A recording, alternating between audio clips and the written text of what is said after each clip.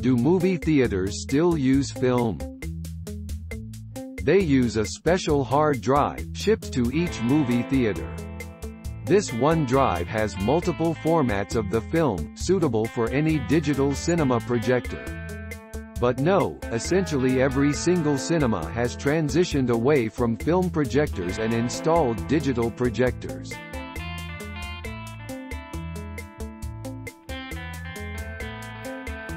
Thanks for watching. Please subscribe.